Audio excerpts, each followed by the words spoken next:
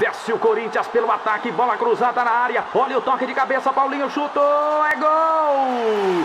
Mas o juiz anulou. Anulou o gol do Corinthians. Carlos Amarília. Você roubou no jogo do Corinthians.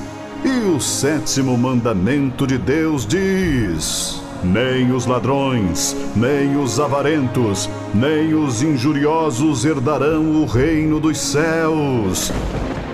Mas, Carlos Amarília, você roubou do Corinthians. E quem rouba de ladrão está perdoado.